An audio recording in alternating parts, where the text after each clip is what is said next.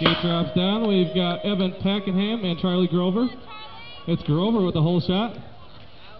Charlie Grover from North Smithfield with the lead through turn one into the second straight. It is Grover. Packenham on the backside.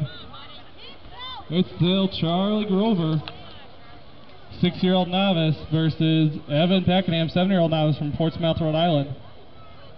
We are taking one in this round to the main to face two others that qualified earlier. Through the rhythm section in the last turn in the last straight is still Charlie Grover with the lead. Packenham on the two spot.